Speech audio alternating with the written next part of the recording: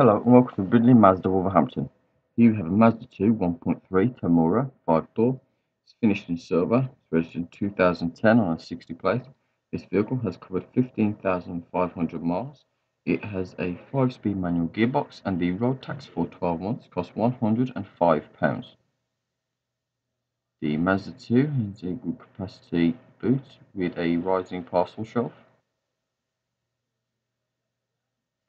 And this vehicle comes equipped with air conditioning, climate control, a CD player with radio, trip computer, power folding mirrors, and fog lights.